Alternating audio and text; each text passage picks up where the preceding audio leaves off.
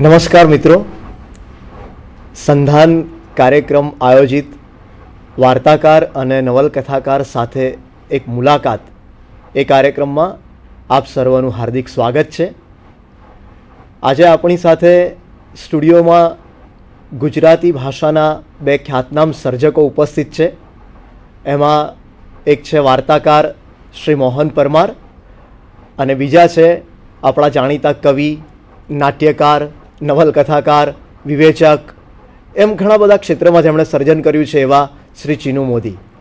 આ બંને સર્જકો સાથે આપણે એમના વાર્તા સર્જન કે નવલકથા સર્જનની કેફિયત અને બીજી ઘણી વાતો કરવાના છીએ. બહુ જ રસ પડે એવી માહિતી એમની પાસેથી આપણને મળવાની છે. તો એ બંને સર્જકોનું પણ અહીંયા સ્વાગત છે.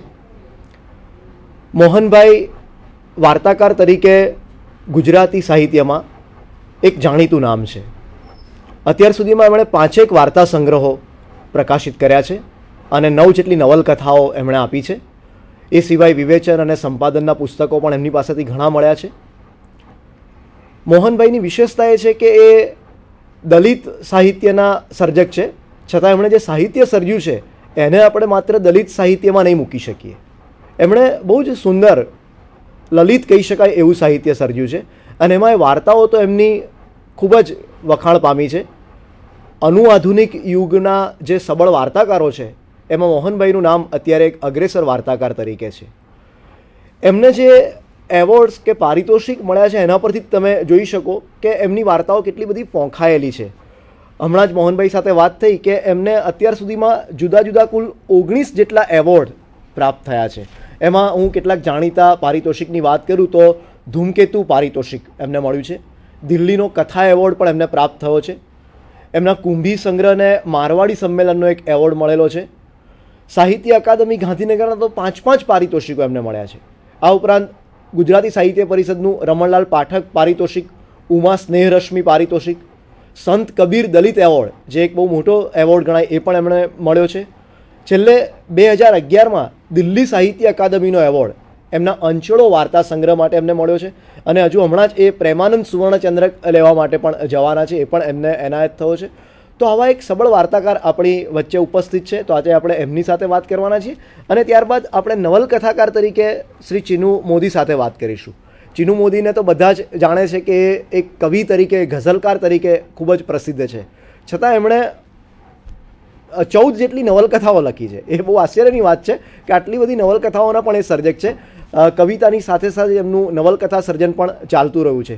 સૌ પ્રથમ એમણે શૈલા મજમુદાર નામની એક નવલકથા લખેલી અને ત્યાર પછી તો લીલો નાગ અને ધારાવાહી રૂપે પહેલા વરસાદનો પહેલો છાંટો, કાળો અંગ્રેજ માણસ હોવાની મને ચીડ એવી ઘણી બધી સરસ નવલકથાઓ, એક હાસ્ય નવલકથા છેલ્લે, બદલાતા સરનામા એ પણ એમની પાસેથી મળી છે. તો આવા કવિ અને ગઝલકાર તો ખરા જ, પણ નવલકથાકાર પણ જેને કહેવાય એક સબળ એ આપણી વચ્ચે ઉપસ્થિત છે. તો આ બંને મહાનુભાવો સાથે આજે આપણે વાત કરવાના છીએ. સૌ પહેલાં આપણે મોહનભાઈ સાથે વાત કરીશું અને કેટલાક સવાલો એમને પૂછીશું અને એના જવાબો અને એમાંથી આપણી આ વાતચીતનો દોર આગળ ચાલશે. તો મોહનભાઈ, હું તમને સૌપ્રથમ એમ પૂછવા માગું છું કે નવલકથા નહીં, સોરી, વાર્તા વાર્તા સર્જનની પ્રેરણા આપને ક્યાંથી મળી? અથવા એ સર્જનની શરૂઆત કેવી રીતે થઈ? થોડું એના વિશે જણાવશો? હું જ્યારે નાનો હતો, ત્યારે મારામાં જે વાંચનનો શોખ હતો મેં નિષ્ઠાપૂર્વક જે વાંચન કર્યું એ મારી પ્રેરણા. અચ્છા.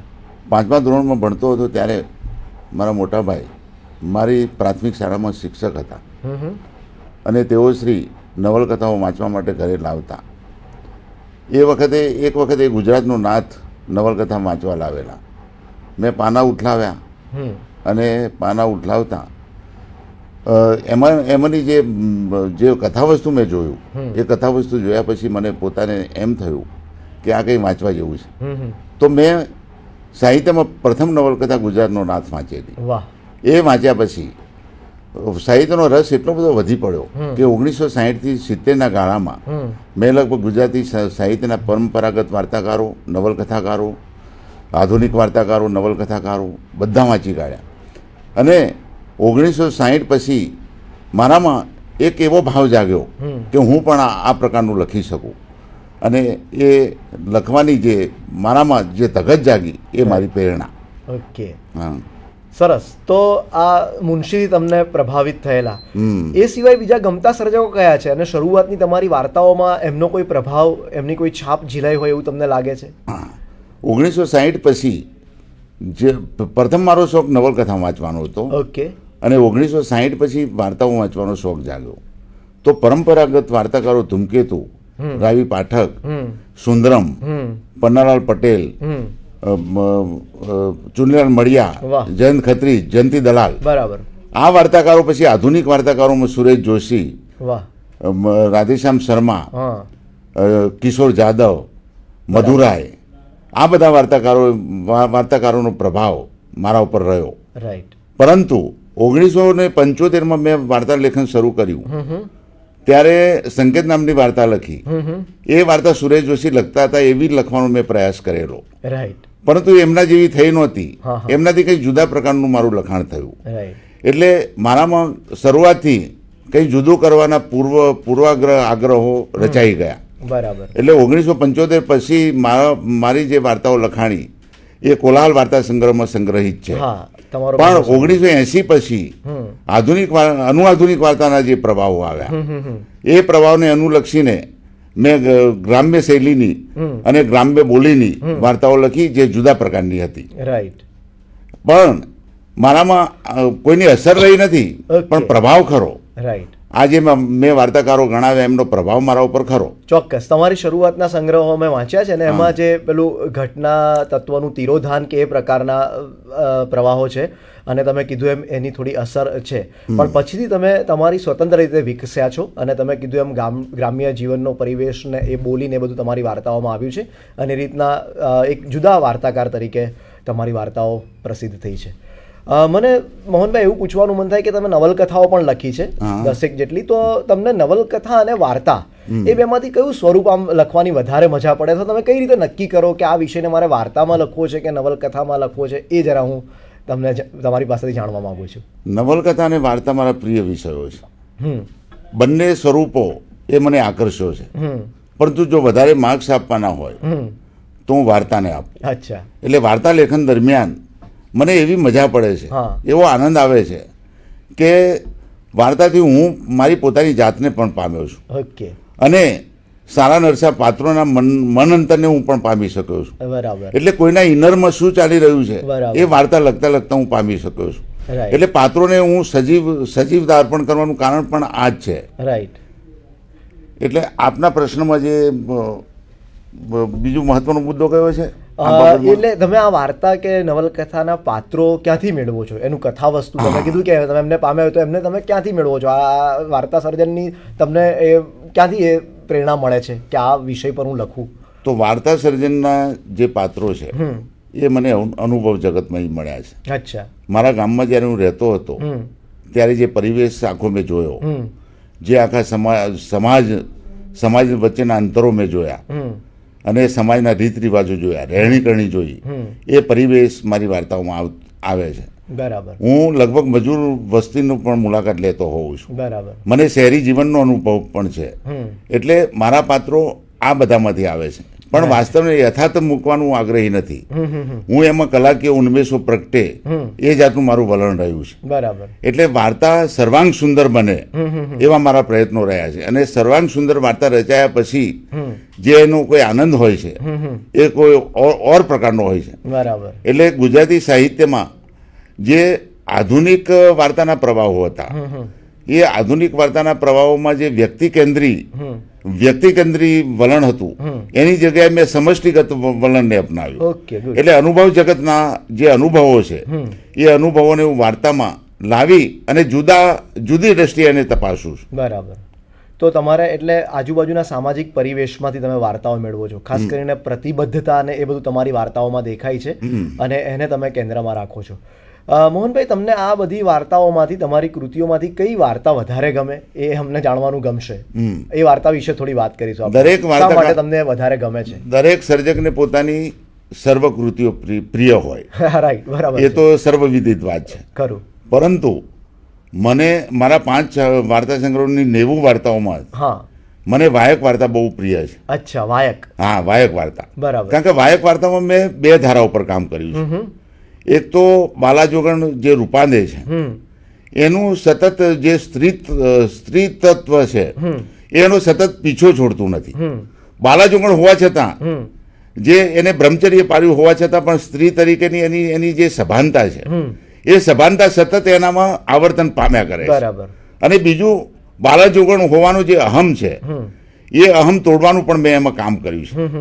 જે પરિવેશની રચના છે એ પણ જુદા પ્રકારની છે. એની ભાષા શૈલી પણ જુદા પ્રકારની છે.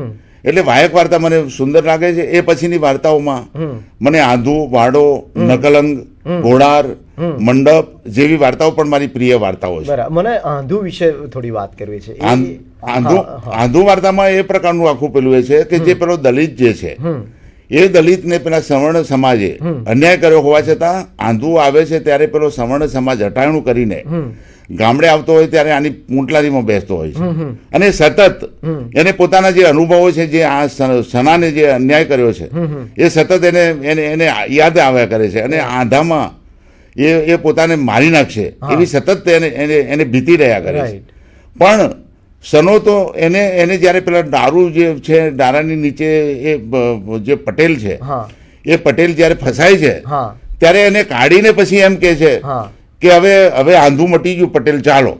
ત્યારે પેલાનામાં જે પરિવર્તન આવે છે એ આંગુ આંધુ વાર્તામાં મેં દર્શાવ્યું છે. બહુ જ સુંદર વાર્તા છે. અત્યારે અમારે ગુજરાત યુનિવર્સિટીમાં જે એસવાય બીએ ની અંદર એક પેપર અભ્યાસક્રમમાં છે નવલિકાના સ્વરૂપ એમાં ગુજરાતી વાર્તા સૃષ્ટિમાં વાર્તા છે ને. વિદ્યાર્થીઓને બહુ જ મજા પડે છે આ વાર્તા જ્યારે અમે ચલાવીએ ક્લાસની અંદર. ત્યારે. એટલે મને જાણો બીજું એક તમારી નકલંક જે આખો સંગ્રહ છે એ વાર્તા પણ બહુ જાણીતી છે. એના વિશે થોડીક વાત નકલંક વાર્તાનો પરિવેશ જે છે એ પરિવેશ મારા ગામનો છે. હા જ્યારે મહેસાણા કોલેજ કરતો હા. ત્યારે મહેસાણા કોલેજ કરતી વખતે હાથ વણાટ પણ કરતો. મારા કુટુંબનું જીવન નિર્વાહ કરવા માટે હાથ વણાટ. હું સવારે કોલેજમાં જતો અને બપોર પછી આવ્યા પછી હું હાથ વણાટનું કામ કરતો. બરાબર. એ હાથ વણાટનો અનુભવ મેં આખો નકલંગ વાર્તામાં મૂક્યો છે. એટલે નકલંગ વાર્તાનો જે લોકાલ છે એ એ મારા ગામનો આખો પરિવેશ બરાબર. અને એમાં એમાં જે કથા વસ્તુ છે હા એ કથા વસ્તુ જુદા પ્રકારનું છે પણ એનો જે પરિવેશ છે એ બસ મારા ગામનો છે. પણ એના પાત્રો ક્યાંથી? એવા પાત્રો એવા એવા પાત્રો પણ હું જ્યારે નિશાળમાં આંબલિયાસન સ્કૂલમાં ભણતો ત્યારે આ પ્રકારના પાત્રો મેં જોયેલા. બરાબર. આ આ આ પ્રકારનું જે બનાવો બનેલા એ પણ મેં જોયેલા. બરાબર. એ બનાવોને અનુલક્ષીને વાર્તામાં મેં આખું આ બીજાવરોપણ કર્યું છે. બરાબર. બીજું કોઈ એવી સત્ય ઘટનાઓ જે તમે જોઈ હોય ને એને વાર્તામાં લાવ્યા હોય એવી કોઈ વાર્તાઓ યાદ આવે છે હા એ એવી વાર્તાઓમાં મને લાગ વાર્તા યાદ આવે અચ્છા અચ્છા. અમારા ગામમાં રામાપીરનું મંદિર છે. હા. એ રામાપીરના મંદિર નિમિત્તે અગિયારસના દિવસે પાલખી નીકળે. બરાબર. એ એ પાલખી નીકળે. હા. એ પાલખી ફરતી ફરતી આખા ગામમાં ફરીને હા. એ રામાપીરના મંદિરમાં જાય અને ત્યાં એનો ઉત્સવ ઉજવાય. બરાબર. એટલે લાગ વાર્તામાં મેં વેર વૃત્તિ. વેર વૃત્તિનો આખો પેલો એ પેલો એ કથા વસ્તુ આખું નિરૂપણ કર્યું છે. બરાબર. એટલે એ એ વાર્તા પણ મારા ગામનો લોકાલ છે. આવી તો ઘણી વાર્તાઓ મેં મારા ગામ અને એના આજુબાજુના પરિવેશની રચી છે. બરાબર. કેટલીક નારી કેન્દ્રી વાર્તાઓ પણ છે તમારી મોહનભાઈ. તો એમાંની કોઈ તમને ગમતી હોય કે જે પાત્ર તમારા પરિચયમાં હોય એવી કોઈ વાર્તા? હા એવી વાર્તા થળી વાર્તા છે. હા થળી. થળી વાર્તા. હા. એટલે અમારા ગામમાં તુરી બારોટના પણ મકાન છે. બરાબર. એટલે તુરી બારોટ વણકર સમાજ અને ચમાર સમાજ સાથે એક ભરેલો પણ સમાજ છે. બરાબર. એટલે આ સમાજમાં જે એ લોકો જે નાટકો કરતા હોય છે અને નાટકો દરમિયાન એ વણકર ચમાર એમનાથી પ્રભાવિત થતા હોય છે. પણ આ જે ચમન તુરી છે એની પત્ની રેવી. રેવી. રેવી સાથે પેલા જે દરબાર છે એ દરબાર એને ફસાવે છે. અને પછી એનો કેળો મૂકતો નથી. ત્યારે આ રેવીને એમ થાય છે કે આ તો સાલું એક વરગણ મારા માથે વર્ગ્યું અને હું આખા આખા મારા વાસમાં હળદૂત થઈ ગઈ. એટલે એનાથી છોડાવવા માટે પછી પેલાને એમ કહે છે એના એના એના એના ખેતરમાં જઈને કે ચાલો હું તમારી સાથે બધું કરવા તૈયાર છું. પણ હવે હું તમારા ઘરે આવવા તૈયાર છું. અને તમે મારી સાથે લગ્ન કરો. ત્યારે માનસી માનસી જે જે ભાગેડુ વૃત્તિ છે એને એમ થાય છે હા. કે ખરેખર આ રેવી મારા ઘરમાં બેસીને હું સમાજમાં જ થઈ ગઈ એટલે પછી એનો કેળો મૂકે છે અને રેવીનો વિજય થાય છે. બરાબર. એટલે એટલે થરી વાર્તા એ રીતે લખાયેલી છે. બરાબર.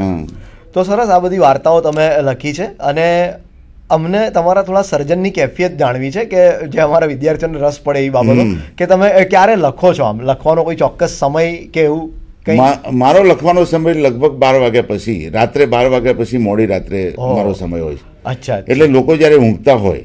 કોઈની ખલેલ ન પહોંચે ત્યારે હું નિરાતે સાહિત્યમાં રમમાણ થતો હોઉં છું. બરાબર. એટલે આખો દિવસ હું બીજી પ્રવૃત્તિઓમાં હોઉં છું. બરાબર. એટલે રાત્રે મારું લેખન કાર્ય ચાલતું હોય. બરાબર અને કેટલી વાર લખો છો? આમ ફાઇનલ ડ્રાફ્ટ કરતા પહેલા? મારો ફાઇનલ ડ્રાફ્ટ લગભગ આમ તો લગભગ ઘણી ઘણી વાર્તાઓ પહેલી બેઠકે રચાઈ હોય છે. પણ બે ત્રણ ઘણી ઘણી વાર્તાઓ બે ત્રણ બેઠકે પણ પૂરી થતી હોય છે. બરાબર. પણ એ લખાઈ ગયા પછી એમાં શોધન પરિવર્તન સતત ચાલ્યા કરતું હોય છે. ઓકે.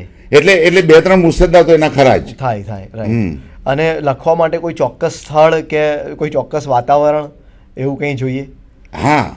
એમાં ચોક્કસ વાતાવરણ એ પ્રકારનું છે કે ધારો કે હું ગમે ત્યાં હરતો ફરતો હોઉં હા. અને મને અનુભવ જગતમાંથી કોઈ પણ વસ્તુ મળે કોઈ પણ સ્ફુરણ થાય હા. તો હું તાત્કાલિક લખતો નથી. બરાબર. વાર્તા મારા મનમાં આખી રચાઈ ગયા રચાઈ ગયા પછી જ હું વાર્તા એ કાગળ ઉપર ઉતારતો હોઉં બરાબર. એટલે સરકાર તરીકે મારું ઘર જ મને પસંદ છે. હું ગમે તે જગ્યાએ કોઈ પણ જગ્યાએ લખી શકતો નથી. હું એકાંતમાં મારા ઘરમાં જ લખ્યો એ એ છે. એ જ્યારે હું મુસદ્દો એનો એનો કાગળ ઉપર ઉતારું છું બરાબર. ત્યારે મારા ઘર સિવાય કોઈ પણ બીજી જગ્યાએ હું લખી શકતો નથી. બરાબર. અને કેવું લાગે છે આમ વાર્તા લખાઈ જાય પછી? તમને વાર્તા લખાઈ ગયા લખાઈ ગયા પછી એનો આનંદ જ એક ભરપૂર મજા આવે છે. ખરેખર એક સર્વાંગ સુંદર વાર્તા હા. લખાઈ ગયા પછી જે આનંદ આવે છે. હા. એ એ આનંદની તો કોઈ વર્ણન જ થઈ શકે એમ નથી. તમે પછી એ કોઈની સમક્ષ વાંચો છો? તમારા કોઈ મિત્રો કે જ્યારે મારી પત્ની જીવતી હતી હા હા. અત્યારે તો મારી પત્ની ગુજરી ગઈ છે. હા હા. ત્યારે હું પહેલો મુસદ્દો મારી પત્ની સામે જ વાંચતો. રાઈટ અને અને તમને એક મજાની વાત કરું. હા. મારી પત્નીની વાતોમાંથી પણ મને ઘણા થીમ મળ્યા છે. એના એના પિયરોમાં કોઈ પણ ઘટના ઘટી હોય. બરાબર. અને અને ઘણી વાતોમાંથી પણ મને મને થીમ મળ્યા છે. એટલે એ મુસદ્દો પહેલો મુસદ્દો મારી પત્ની સામે વાંચતો. બરાબર. અને પછી આ ચીનુભાઈ જેવા મિત્રો હોય એમની સામે પણ વાંચું. બરાબર. ક્યારેક તો ન વાંચું અને સીધો પણ મને પોતાને પ્રતીતિ થાય કે આ વાર્તા થઈ છે. બરાબર. ત્યારે હું સીધો મોકલી પણ આપું પ્રેસમાં. અને પછી છપાયા પછી કોઈ વાચકોના પ્રતિભાવો આવે છે? કેવું લાગે છે હા છપાઈ ગયા પછી સારા નરસા પણ પ્રતિભાવ આવે. બરાબર. પણ લગભગ મારી વાર્તાઓ વિશે સારા જ પ્રતિભાવ આવ્યા છે. પણ લખાઈ ગયા પછી છપાઈ ગયા પછી જ્યારે હું વાર્તા સંગ્રહ કરતો હોઉં ત્યારે પણ એમાં શોધન પરિવર્તન થયા કરતું હોય. બરાબર છે. એટલે વાર્તા હું સીધે સીધી વાર્તા સંગ્રહમાં મૂકતો નથી. બરાબર. વાર્તા સંગ્રહમાં જ્યારે વાર્તા હું મૂકતો હોઉં છું ત્યારે એમાં પણ શોધન પરિવર્તન કરી અને વાર્તા સર્વાંગ સુંદર બને એના અંગોપાંગ સંગન બને સઘન બને એવી મારી સતત ચિંતા રહ્યા કરતી હોય છે. બરાબર. તમે વાર્તાઓમાં બોલી પ્રયોજી છે ને મોહનભાઈ? તો એ બધી બોલી તમે જે વિસ્તારમાંથી આવ્યો છો એ જ વિસ્તારની છે? હા. કારણ કે લગભગ મારી વાર્તાઓમાં ઉત્તર ગુજરાતની બોલી બોલીનો ઉત્તર ગુજરાતની બોલીનો ઉપયોગ છે રાઈટ અને એ પાત્રો પાત્રો એ ભિન્ન છે. ધારો કે દરબારની વાર્તા દરબારની બોલી આવે. તો એ જુદા પ્રકારની હોય. પટેલની બોલી આવે તો જુદા પ્રકારની. હોય. દલિતની બોલી આવે તો જુદા પ્રકારની હોય. બરાબર. પણ મેં જે બોલીનો પ્રયોગ કર્યો એ બોલીના પ્રયોગથી પ્રત્યાયનના પ્રશ્નો રહેતા નથી. કેમ કે મેં બોલીનો જે પ્રયોગ કર્યો એ વાચકને હા. રૂચે એ પ્રકારનો કર્યો છે. બરાબર. ઘણી વાર્તાઓમાં એવું થાય છે કે સમજાય નહીં વાચકોને એક વિસ્તારની બોલી હતો પણ તમારી વાર્તાઓમાં એ ખરું. હા એટલે મારી વાર્તાઓમાં મેં વાચકોને પ્રત્યાયના પ્રશ્નો નડે નહીં કોમ્યુનિકેશનના પ્રશ્નો નડે નહીં. એ જાતનો મેં પ્રયોગ કર્યો છે. એટલે મારી વાર્તાઓમાં લગભગ આ આ કરતું નથી. કારણ કે હું સૌરાષ્ટ્રમાં ઘણો રહ્યો. અને મારી વાર્તાઓ સૌરાષ્ટ્રના માણસોએ પણ વાંચી છે. બરાબર. પણ એમને આ પ્રશ્ન નડ્યો નથી. બરાબર. તો મોહનભાઈ અત્યારે શું પ્રવૃત્તિ છે? તમારી વાંચવા લખવાનું શું ચાલે છે? અત્યારે એ પણ અમે જાણવા માંગીએ છીએ. હું ગુજરાત મેરીટાઈમમાં મેરીટાઈમ બોર્ડમાં વહીવટી અધિકારી હતો. બરાબર. અત્યારે હું ત્યાંથી નિવૃત્ત થયો છું. બરાબર. એટલે અત્યારે મારું લેખન કાર્ય ચાલે છે. લેખન પ્રવૃત્તિ સિવાય હું બીજી પ્રવૃત્તિમાં અત્યારે પરમના સહતંત્રી તરીકેની કાર્ય એના સહતંત્રી તરીકેની કામગીરી કરું છું. ગુજરાતી દલિત સાહિત્ય પ્રતિષ્ઠાનનો પ્રમુખ છું. બરાબર. એટલે એ પણ કાર્યવાહી ચાલુ છે. બરાબર. એટલે આ જાતના કાર્યો અત્યારે ચાલુ છે. એટલે સાહિત્યને સંબંધિત જે. જે કાર્યો છે. લખવાનું શું ચાલે છે મોહનભાઈ અત્યારે? લખવાની એક નવલકથા ચાલે છે. અચ્છા. એ લગભગ પૂરી થવાની એની ઉપર છે. અને એ નવલકથા શું કદાચ- વિષય છે એનું? કદાચ એ નવલકથા મારી આ નવ નવલકથાઓ કરતા જુદા પ્રકારની એ નવલકથાનું થીમ એ છે કે જ્યારે આ ગોધરાકાંડ થયો ત્યારે ગોધરાકાંડ થયા પછી એ વખતે જે દલિતો અને મુસલમાનો દલિતોની ચાલીઓ અને મુસલમાનના મુસલમાનોના મોહલ્લા હા. એકબીજાની સામે સામે. હા. હવે એ જે પાંચ સાત દિવસો રહ્યા એ પાંચ સાત દિવસોમાં હમ ચાલી વાળા અને મુસલમાનો. એ બંને વચ્ચે ઘર્ષણ થશે થશે એવી ભીતિમાં એ બંને જણ રહે છે. એમાં જે ચાલીનો જે મુખ્ય આગેવાન શાંતિલાલ છે. એ એ શાંતિલાલ અસામાજિક તત્વો ચાલીના અસામાજિક તત્વો જે મુસલમાનો ઉપર હલ્લો કરવાની તૈયારીમાં છે. એ એ એ લોકોને ઠારી અને મુસલમાનો અને ચાલીના માણસો વચ્ચે સમરસતા કેળવાય અને સમન્વય કેળવાય. એ જાતના પ્રયત્નો કરીને સંકટમાં તે જે ઉગારવાની વાત કરે બરાબર. એ એ મારું આખું થીમ છે. બહુ સરસ. તો અમને આતુરતા રહેશે વાંચવાની. ઝડપથી એ પૂરી થાય અને અમારા સુધી પહોંચે ને અમે વાંચીએ એની અમે રાહ જોઈએ છીએ. મોહનભાઈ તો ઘણો આભાર તમારી સાથે વાત કરવાની મજા પડી છે અને ઘણી બધી બાબતો અમને અમારા વિદ્યાર્થીઓને જાણવા મળી છે. તો હવે આવા જ કેટલાક થોડા પાયાના સવાલો અને બીજી વાતો ચિનુભાઈ સાથે પણ આપણે કરવાના છીએ. હાજી. મિત્રો, ચીનુભાઈનું નામ આવે એટલે આપણને તરત જ એમની પંક્તિઓ ઘણા બધા ગઝલના શેર યાદ આવવા માંડે. જેમ કે એમની એક ગઝલ જે એમણે તસ્બી તરીકે લખી છે, એ તો બહુ જ મજાની છે. પર્વતને નામે પથ્થર, દરિયાને નામે પાણી ઈર્ષાદ આપણે તો ઈશ્વરને નામે વાણી. તો આ ઈર્ષાદ જે ઈશ્વરના નામે વાણી છે એ ચીનુભાઈ આપણી વચ્ચે છે.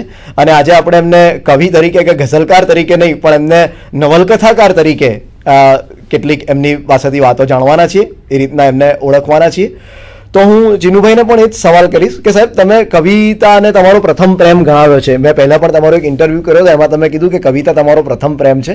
પણ આ નવલકથા કે વાર્તા લખવાની તમને કેવી રીતના પ્રેરણા થઈ અને એ કેવી રીતના લખાઈ એ એ સાહેબ અમે જાણવા માંગીએ છીએ. જીનુભાઈ. કવિતા એક જ મારા આખા વ્યક્તિત્વને મારા અનુભવને હા. અશેષ રીતે વ્યક્ત કરે એવું મને લાગતું નથી. બરાબર. એટલે સાહિત્યના અનેકવિધ સ્વરૂપો સાથે મારે સંબંધ બાંધવો પડ્યો છે. અચ્છા. એટલે એટલું ભરપૂર જીવવા મળ્યું છે હા. કે એ માત્ર કવિતા દ્વારા કે માત્ર ગઝલ દ્વારા એ વ્યક્ત થાય બરાબર. એટલે મારા નાનપણથી માંડીને આજ સુધીના જે કંઈ અનુભવો છે એ અનુભવોમાં જે કંઈ સારવેલું અને સાચવેલું છે આ બધું જ એ વ્યક્ત થઈ જાય શબ્દ દ્વારા. એમ હું ઈચ્છું છું. એટલે તમે જુદા જુદા સ્વરૂપોમાં કામ કર્યું એટલે જુદા જુદા સ્વરૂપોમાં કામ કરીશ બરાબર. તમારી પહેલી નવલ કરતા શૈલા મજમુદાર કદાચ. બરાબર? તો એ કેવી રીતના લખાય આમ? એનું કેવી રીતના અચાનક પ્રેરણા થઈ એ?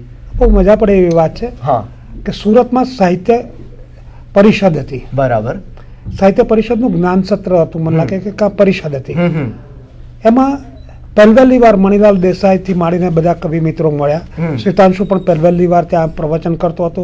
અનિરુદ્ધ બ્રહ્મભટ્ટ પણ ત્યારે જ પ્રવચન કરતા હતા. સુરતથી પાછા અમે લોકો આવ્યા હું લાભશંકર આદિલ બધા જ. અને કોણ જાણે શું થયું. એ મને ખબર નથી. પણ અઢી રાત આખો દિવસ અને રાત શું વાત છે? આ જે ત્રણ રાત્રિઓ છે હા. એ ત્રણ રાત્રિઓ દરમિયાન આખે આખી નવલકથા લખાઈ ગઈ. બરાબર. એટલે શૈલા મજમુદાર બરાબર. પહેલી વાર ફેમિનિઝમની વાત જો થઈ હોય તો કદાચ ત્યાંથી થઈ. કારણ કે એક અધ્યાપિકા હા. કવિયત્રી પણ છે. હા. નાટક દિગ્દર્શિકા પણ છે. હા. એના હંમેશા લોકો એ જ રીતે ઓળખે હા. કે આ તમે એમ કે પહેલા સ્ત્રી કવિયત્રી છો કે પહેલા એમ કે નાટ્ય દિગ્દર્શિકા છો એ વાત જ એને ગમતી નથી. બરાબર. એને સતત લાગ્યા કરે છે કે સ્ત્રીને લક્ષ્યમાં રાખીને કેન્દ્રમાં રાખીને કેમ બધા મારી સાથે વર્તે છે? એમાં અનિકેત નામનો એક કવિ આ બહુ જ સુંદર એવી અધ્યાપિકા છે અને કવિતા લખે છે. હમ. આ કવિ જે અનિકેત છે એ તો પુરુષ છે. કવિ તો છે પણ પુરુષ પણ છે. એટલે એને જે રસ પડે છે શૈલામાં. એ માત્ર એની કવિતામાં જ રસ પડે છે એવું નથી. એના દેહમાં પણ રસ પડે છે. અને આ વાત એ સહન કરી શકતી નથી. બરાબર. અને આ વાતને લઈને એ નવલકથા કરેલી લઘુ નવલકથા. પોતાને વ્યક્તિ તરીકે ઓળખે એવું ઈચ્છે છે પણ એને નિરાશા મળે છે ને પુરુષ મિત્રો પાસે ફેમિનાઇન સેક્સ એ અગત્યનું ન હોય એમ એનું મનમાં વાત છે. બરાબર. પણ આ આમાંથી બહાર નીકળી શકાય કે ના નીકળી શકાય એ તો પ્રશ્ન જ છે. બરાબર. તમારી બીજી એક નવલકથાનું કથા વસ્તુ પણ એ ટાઈપનું છે ને? જે હેંગઓવર નામનું. એમાં પણ જે સ્ત્રી છે એ આ આ પ્રકારની એક પ્રગલ્ભતા વાળી છે ને? મારી લગભગ બધી નવલકથાઓમાં સ્ત્રી કેન્દ્રમાં છે. બરાબર. પણ શૈલા મજમુદાર લખાયા પછી હા. લાભશંકરે મને કહ્યું હા. મને કે સ્ત્રી વિષયક તો તમે નવલકથા લખી આપો જેમાં કેવો આવે છે?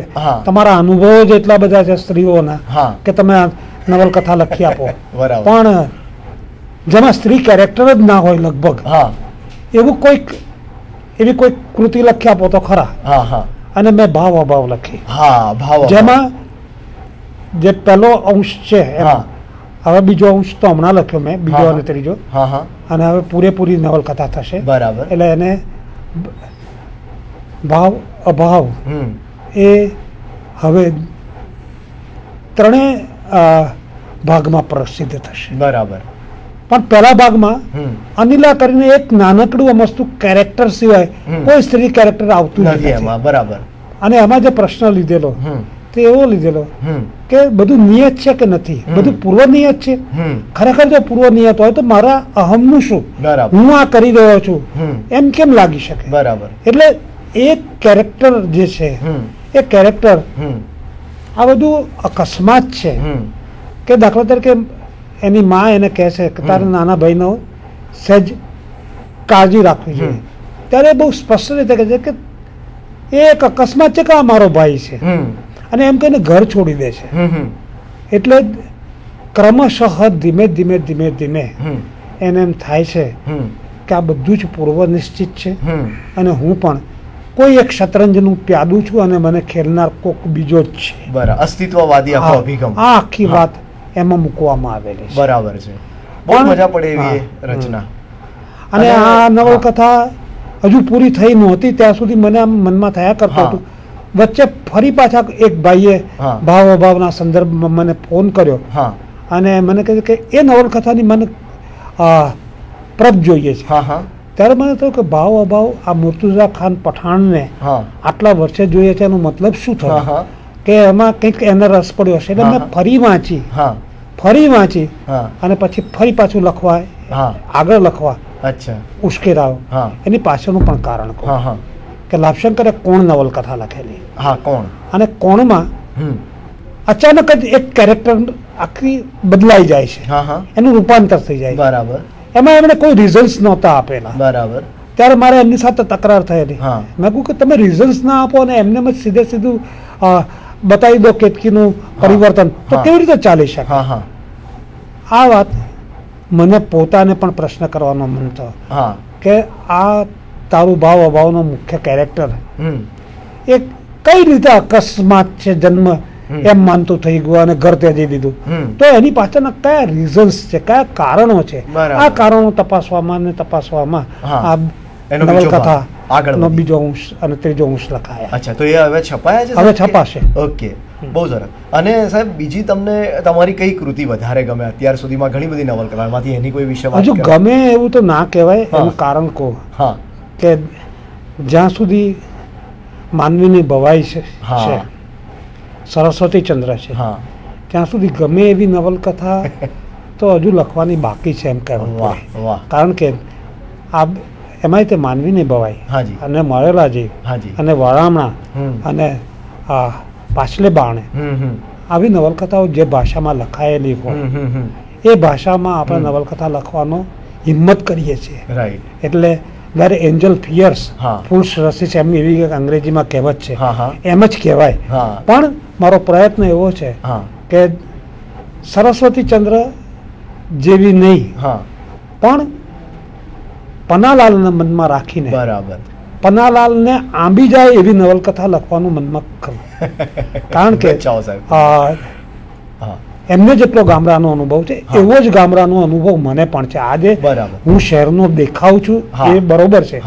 પણ સાતસો વીઘા જમીન મારી ધોળકા પાસે કેસરડી ગામ અને બે ગામડાની વચ્ચે. ત્યાં આગળ જ હું મારો હું ઉછરેલો વીસ વીસ ભેંસો હોય ઘરમાં. કોષ હાંકેલા છે રેંટ હાંકેલો છે ઢાળિયા વાળેલા છે. જ્યારે પણ તીરનું ટોળું આવ્યું હોય ત્યારે આ, થાળીઓ વગાડી છે બરાબર. વેરણથી. બરાબર. જ્યારે જ્યારે બાજુના ગામોમાંથી આપણા ઊભા પાકને. ચર લઈ લઈ જવા માટે અથવા તો ઢોરને છોડી દેવા માટે આવી ગયા છે ભરવાડો. ત્યારે પણ સામે થયા છીએ. બરાબર. એટલે ભેળાણના કિસ્સાઓમાં પણ મારી માએ તો એક રબારીને ભાલો મારેલો.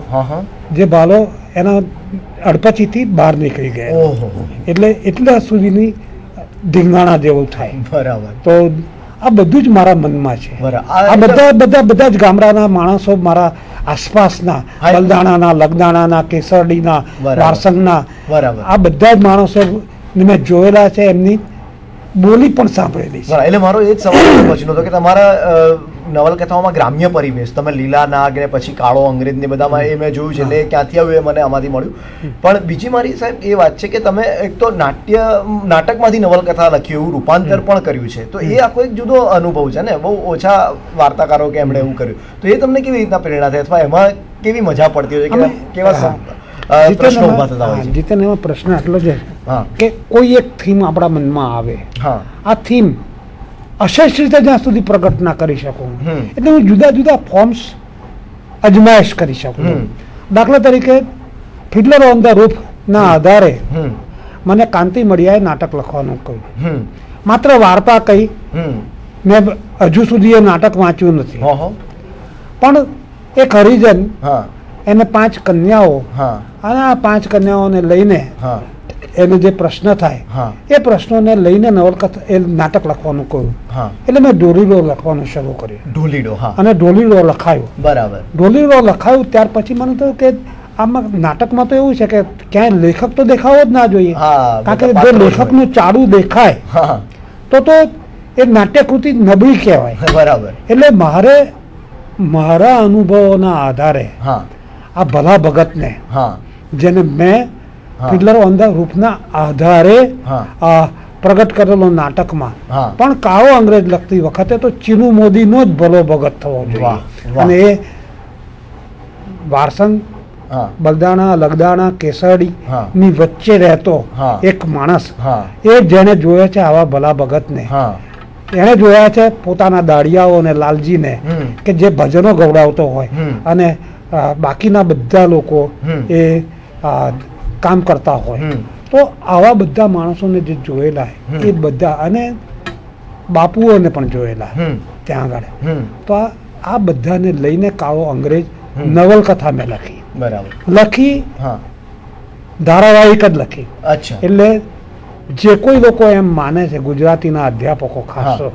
કે ધારાવાહિકમાં સાહિત્યિકતા હોય જ નહીં. એમણે આ નવલકથાઓ ફરી વાંચવી જોઈએ એમ બરાબર.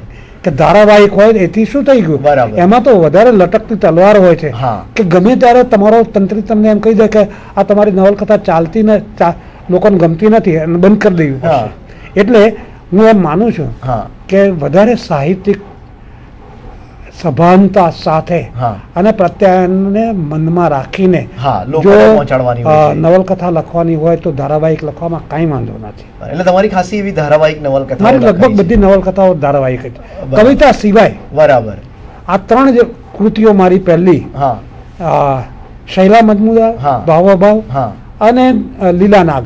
આ ત્રણ જ મેં મારી ઈચ્છાથી લખેલી છે. બાકીની બધી જ નવલકથાઓ મેં કોઈના કહેવાથી અથવા તો છાપાઓના કહેવાથી જ લખેલી છે. બરાબર. અને એમાં સાહેબ તમને મને લાગે કે એવોર્ડ પણ મળ્યો છે ને? આ ગાંધારીની આંખે પાટાને હા. નવલકથાનો પહેલો પારિતોષિક સાહિત્ય અકાદમીને મળ્યો. સાહિત્ય અકાદમીના પાંચ નહીં મને તો છ એવોર્ડ આપવા પડે. એમાં એવું થયેલું કે છેલ્લો જે એવોર્ડ હતો હા. એમાં બે સંગ્રહો મારા હતા. હા હા.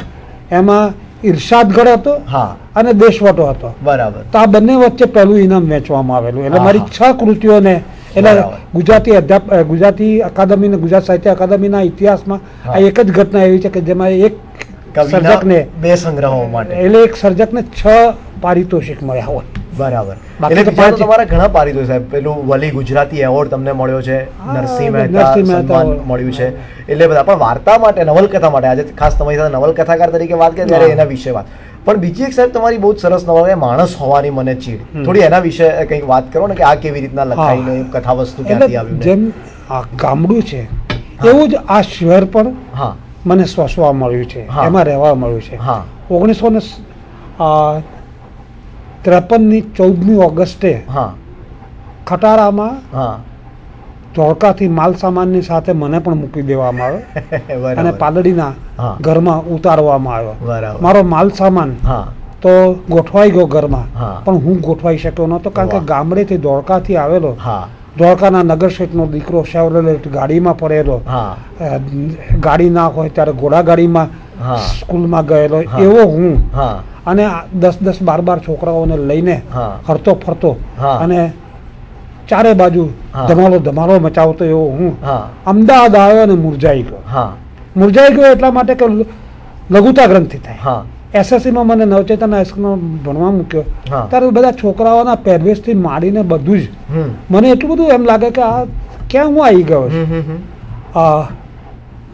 અને આ લઘુતા ગ્રંથિના કારણે તું આજે જીતેન માનીશ પણ નહીં કે મારા મોઢામાંથી લાળ પડે નાકમાંથી લેન્ટ હાલ્યા જાય.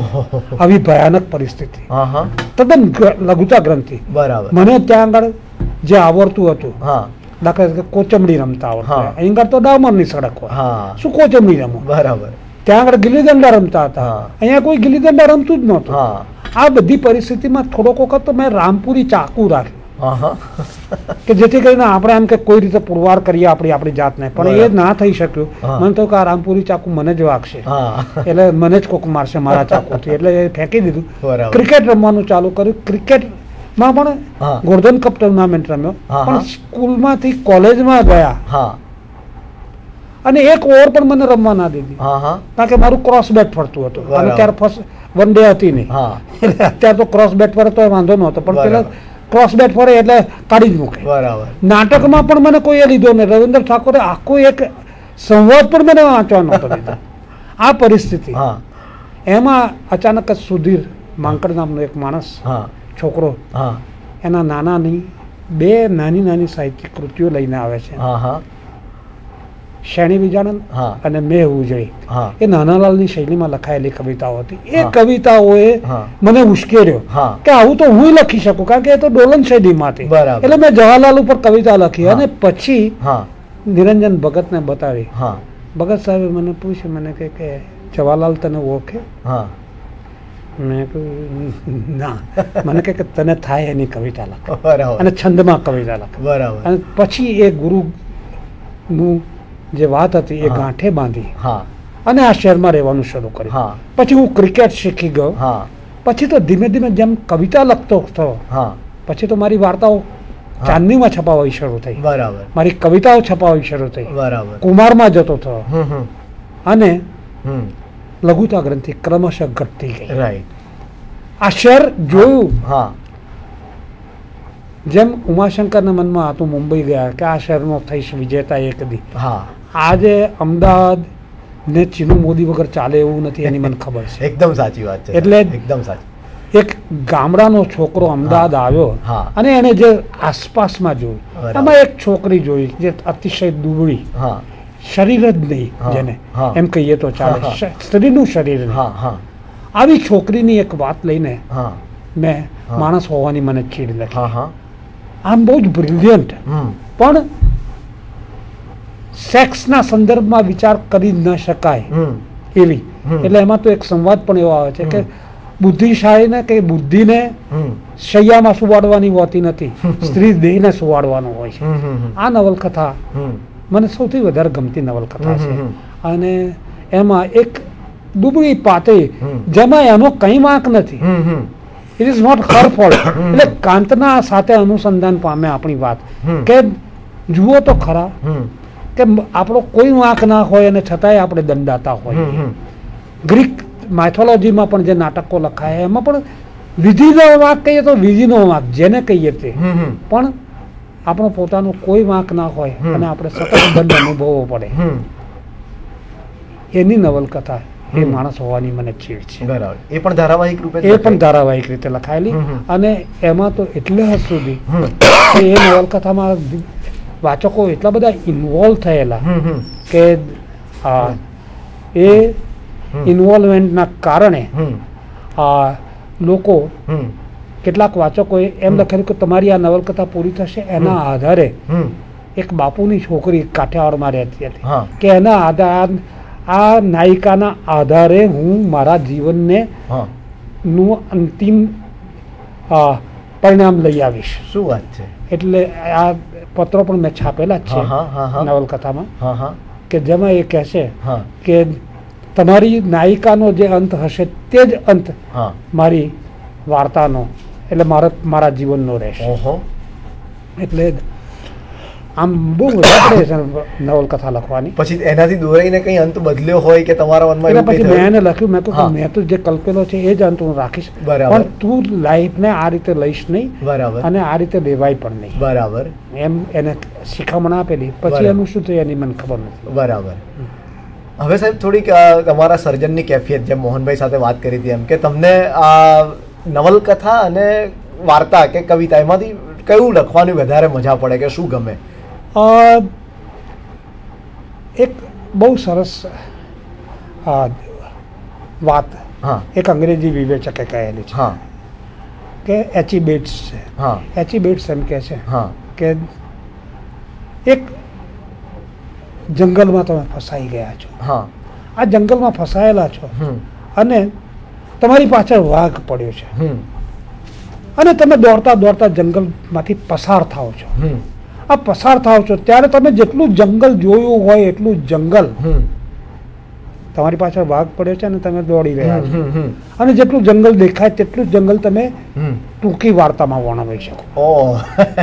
જ્યારે નવલકથામાં તમે હાથી ઉપર બેઠેલા છો હા. તમે અથવા તો માચડા ઉપર બેઠેલા છો. અને વાઘનો શિકાર કરવાનો છે. બરાબર.